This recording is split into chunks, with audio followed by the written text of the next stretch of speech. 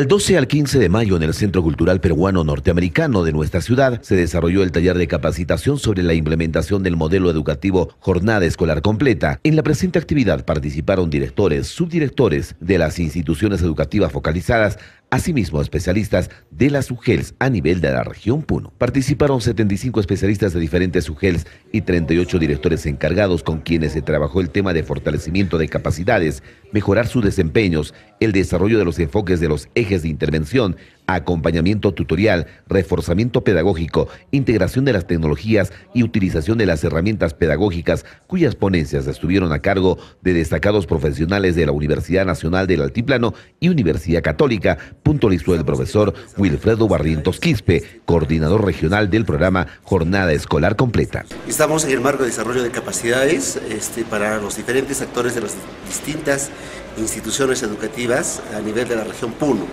Esta semana del 12 al 15 se ha desarrollado el taller para 75 especialistas de las 14 UGELs, han venido 5 por cada una de ellas, y también eh, paralelamente para 38 directores de las instituciones educativas cuyos directores están en condición de encargados, es decir, en plazas no presupuestadas. El 15 y el 16 se desarrolla el taller para 204 docentes tutores de estas 102 instituciones educativas. El objetivo, eh, reitero, es fortalecer las capacidades, mejorar sus desempeños, tanto de los especialistas de las UGERS como también de los docentes de esas instituciones educativas. ¿Qué temas básicamente han sido eh, el temario de esta? Eh, está enmarcado en, el desarrollo de los enfoques, de los ejes de intervención que tiene la jornada escolar completa, es decir, el acompañamiento tutorial integral a los estudiantes, el reforzamiento pedagógico, estamos hablando de la integración de las tecnologías de informáticas y comunicativas en las sesiones de aprendizaje, de la misma forma eh, la utilización de las herramientas pedagógicas que están para los maestros en la página web eh, principalmente lo que son las, este, eh, las, programaciones y las sesiones de aprendizaje. Estas capacitaciones están a cargo este, de diversas instituciones, sobre todo universidades, porque también el ideal es que sean certificados los maestros.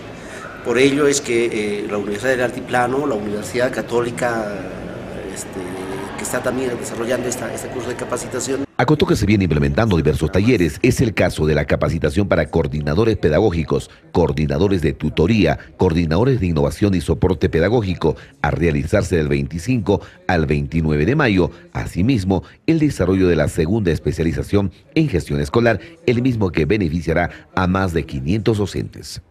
Del 25 al 29 hay un taller para coordinadores pedagógicos, coordinadores de tutoría y coordinadores de innovación y soporte tecnológico y del 25 de mayo a noviembre también se va a iniciar el proceso de este, la segunda especialización en gestión escolar a estos directores encargados en plazas orgánicas, como también a los coordinadores. Estamos hablando de más de 500 actores que van a ser beneficiados con esta, con esta segunda este, especialización a través de este diplomado.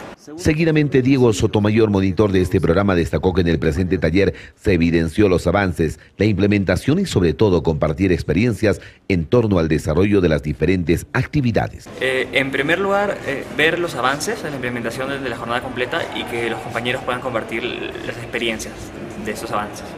Eh, venían, han venido muchos directores buscando validar las, las implementaciones que habían hecho en sus instituciones, han podido compartir experiencias con otros directores y así poder enriquecer y poder eh, luego ahora regresar a sus instituciones ya más empapados de todo el trabajo de, que se está implementando progresivamente con la gente.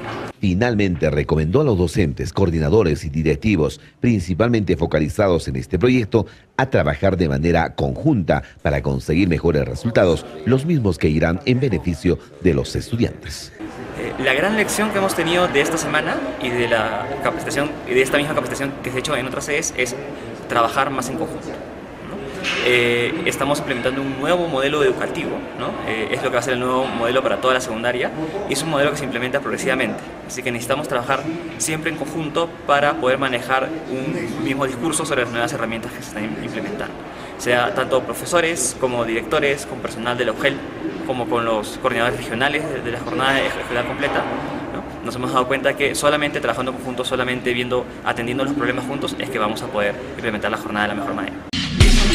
Estamos con la especialista de educación intercultural bilingüe, la profesora Magda. Con la finalidad de producir un programa educativo de corte pedagógico que promueva la participación de padres de familia y profesionales, el último miércoles en el Auditorium Calcatani de nuestra ciudad se realizó el taller Escuela al Aire, donde participaron representantes de UGELS de Camaná, Arequipa, Urubamba, La Convención, Tahuamán, Tambopata, Tacna, Puno, Huancané y Yunguyo. Así declaró Javier Ugaz, especialista de la Dirección General de Educación Bilingüe y Rural del Ministerio de Educación. Taller macro regional dirigido a los equipos de producción de los programas radiales La Escuela del Aire, que financia el Ministerio de Educación en 43 lugares del país.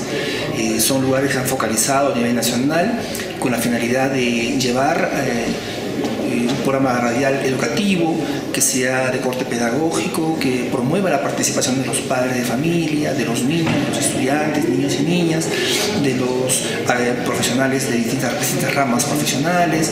En el taller de la ciudad de Puno están participando 11 UGELES eh, de la parte macrosur, por ejemplo de Camaná, de la Arequipa, de Urubamba, de la Convención, Tahuamán, Tamopata, también de Tacna y de, la, y de la región Puno están participando tres sedes, son de la UGEL Yunguyo, Huancaní y de la misma UGEL Puno. Acotó que este taller se realizará simultáneamente en cuatro macroregiones a nivel nacional, en los que participarán especialistas de las UGELs de las regiones del centro, oriente, norte y sur del país. En realidad son cuatro talleres macroregionales que se realizan de forma simultánea.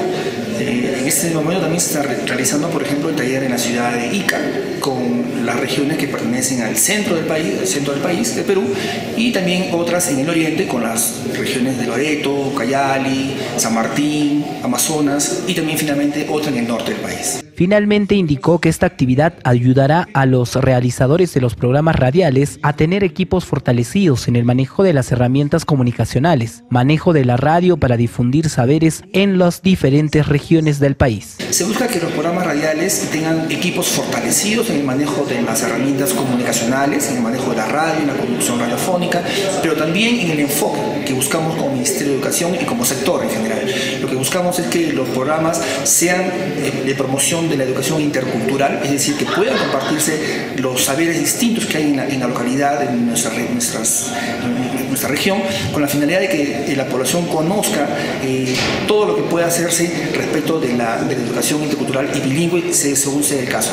Primero, que los equipos de producción tengan, eh, conozcan el manejo de las herramientas radiofónicas y también del enfoque que buscamos. ¿no? Es un enfoque intercultural dirigido a que se promueva la participación de los padres de familia, de los niños y niñas, de los profesionales, de los especialistas y también de los docentes. ¿no? La idea es construir entre todos una educación para todos y todas, estoy compartiendo las distintas que hay sobre este, la diversidad cultural. Cabe recordar que el programa Escuela al Aire es elaborado por la Dirección General de Educación Intercultural Bilingüe y Rural, se difunde a nivel nacional en 55 emisoras en la costa, 61 en la sierra y 24 en la selva, y publican consejos psicológicos de salud y nutrición que ayudan a mejorar la crianza de los niños y niñas menores de 3 años, especialmente de las zonas rurales del país.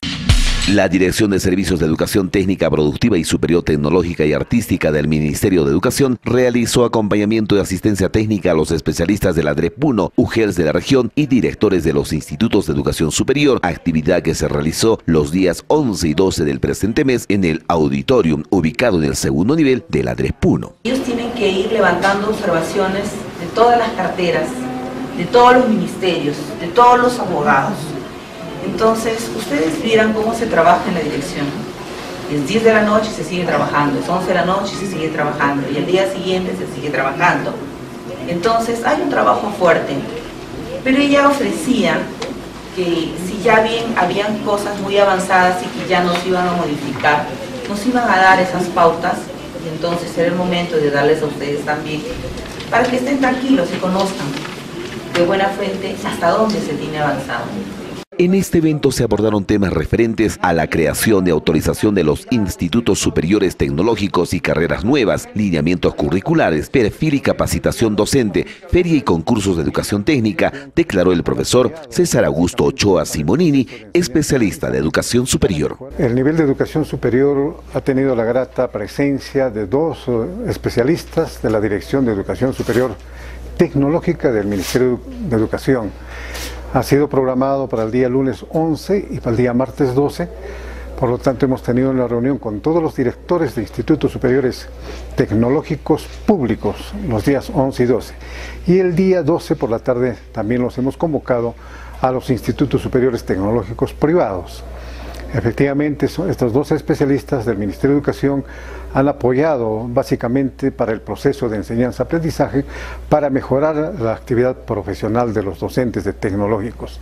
Se han tomado mm, temas muy importantes como es sobre lineamientos curriculares, sobre la autorización de nuevos, nuevas carreras en las instituciones tecnológicas, como también la autorización para el nuevo funcionamiento de los, de los institutos tecnológicos. Puntualizó que el objetivo de esta actividad fue fortalecer las capacidades de los especialistas y docentes de los institutos superiores y coadyuvar a los lineamientos y funciones de la Dirección de Servicio de Educación Técnica. El objetivo es mejorar la actividad mm, profesional de los docentes que están en este momento en el proceso de enseñanza-aprendizaje en las áreas tecnológicas.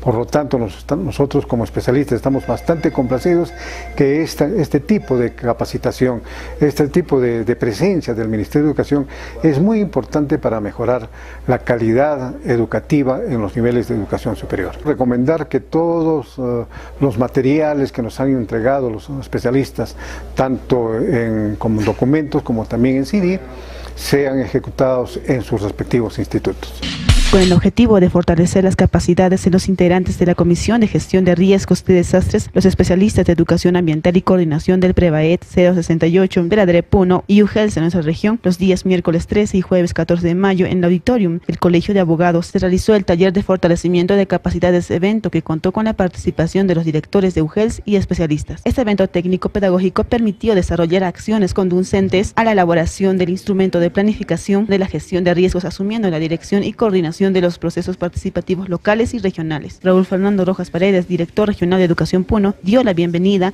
a los asistentes invocándolos a realizar las labores encomendadas con capacidad y responsabilidad. Eh, para mí es un gusto venir a dar, si quieren un instante, hemos estado en este momento en un directorio de gobierno regional, que me vengo, pero tenían toda una invitación, cursada mediante oficio, para que asistan de las 14 mujeres Dicho esto, eh, agradezco la presencia nuevamente, dejo de ustedes la responsabilidad y el apoyo para sumar en la región y a nivel nacional. Muchísimas gracias.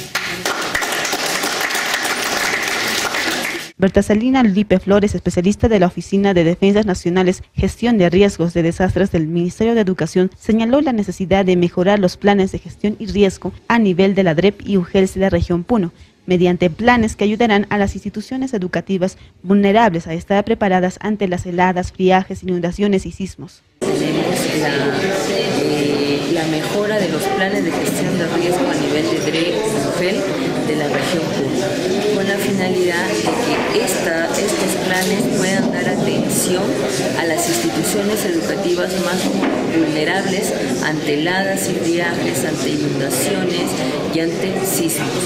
Nosotros venimos a hacer eh, conjuntamente con la Comisión de Gestión de Riesgo de cada una de las mujeres y de la DRE misma, eh, para que se pueda hacer el estudio de vulnerabilidad y de riesgo de, cada una de, las, de, estas instancias. Acotó que se viene realizando conjuntamente con la Comisión de Riesgo de cada UGEL de la DREP el estudio de vulnerabilidad en cada una de estas instancias y mejorar los propósitos que se articulen con los planes de riesgo del INDECI brindando asistencia técnica. Tenemos como meta poder eh, mejorar los planes de gestión de riesgo de la DRE y de las UGELes y además de, esto, que estos se articulen con los planes de gestión de riesgo de INDECI a nivel de la región 1. Eh, eh, nosotros tenemos como objetivo el poder eh, dar la asistencia técnica para la mejora de estos planes. ¡Pela, pela, pela, pela! ¡Pela! ¡Fuerte! ¡Pela, pela, pela, pela! ¡Pela! ¡Fuerte, no escucho! ¡Pela, pela, pela, pela! ¡Pela! Listo, la fuerza les acompaña y Dios también. Muchísimas gracias. El lunes 11 de mayo a partir de las 8 y 30 de la mañana, en el Salón de Innovación Tecnológica de la Dirección Regional de Educación Puno, se realizó la presentación del equipo de docentes formadores y acompañantes pedagógicos del programa educativo Logros de Aprendizaje. El licenciado Raúl Fernando Rojas Paredes, director regional de Educación Puno, destacó el trabajo del PELA, principalmente en cuanto a la labor pedagógica a fin de lograr mejores resultados en la evaluación censal del presente año. Trabajar en el PELA, colegas, no es cualquier cosa son de élite, maestros de élite. Por lo tanto, yo exijo, porque mis jefes inmediatos que son los niños, exigen mejor calidad de educación. Por lo tanto, el señor formador, el señor acompañante, tiene que demostrar sus desempeños. Y yo personalmente voy a verificar si realmente cumple o no cumple, si es competente o no es competente porque para ser acompañante o formador del PELA tiene que tener, tiene que tener un perfil, porque tenemos que tener en cuenta cómo hemos sido formados como personas. A mí no me interesa que sean profesionales, porque todo el mundo, entre comillas, habla, hablemos como profesionales, pero jamás han hablado como personas. Yo quiero que me hablen como personas, porque una buena persona va a poder ser un buen ciudadano, y si hay buena razón, podrá ser, si es que se puede, un buen profesional, que eso no lo determina las circunstancias. Por lo tanto, yo exijo, porque estoy sumamente comprometido con el PELA, que mis señores acompañantes, señores y señoritas acompañantes, formadores, tengan que ser totalmente eficientes en su trabajo. Aún Trabajar en el PELA es ser 4x4 todo terreno. No se duerme. Se trabaja. Ahora, con la suma de ustedes, quiero el 100%.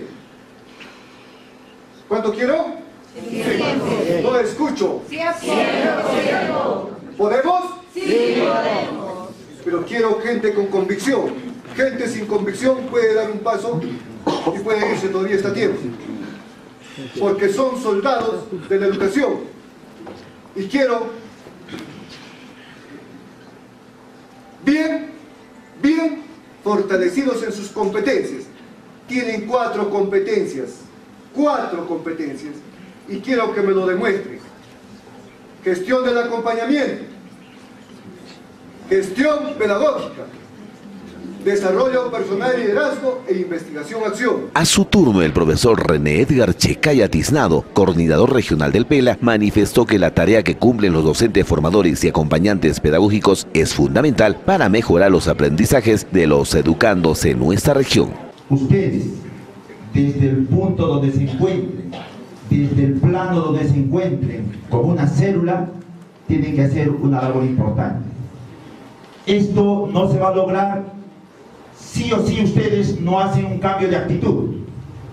Sí o sí ustedes no le dan una alternativa, una herramienta a los acompañantes, a los docentes acompañados y a los niños.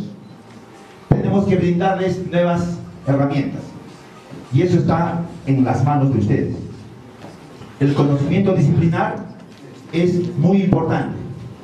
El dominio de los conocimientos epistemológicos de su área en el cual van a ejercer tiene que ser amplio. Nosotros, desde el Comité Regional, vamos a velar, vamos a cautelar este desarrollo de estas competencias de los estudiantes y de los, de los acompañantes y de los formadores. Colegas, haya pasado en el nivel académico, haya pasado en la situación económica, haya pasado en la situación eh, social, de cualquier índole sean los factores que intervienen en la educación, nosotros no podemos darle una mirada atrás al pasado. Nosotros tenemos que mirar hacia adelante. Porque si pudiésemos regresar al pasado, podríamos corregir muchas cosas. Y díganme, ¿nosotros podemos regresar al pasado? ¿Podemos hacer y regresar al pasado, corregir todos los errores que hayamos cometido? No, lo que podemos corregir es el presente y el futuro. Quiero incitarles a que ustedes tengan que aperturar el cambio de actitud.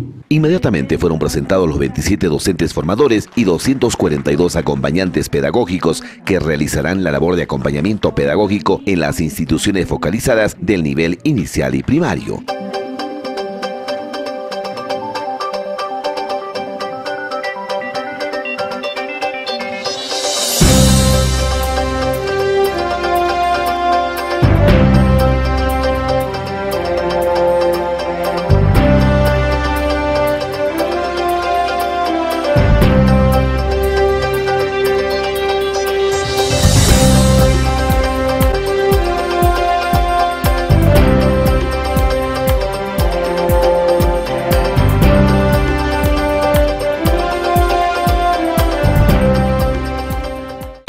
La presente actividad, los formadores y acompañantes pedagógicos participaron del curso de inducción referente al proceso de acompañamiento en el auditorium del Instituto Superior Pedagógico, el mismo que culminó el viernes 15 del presente.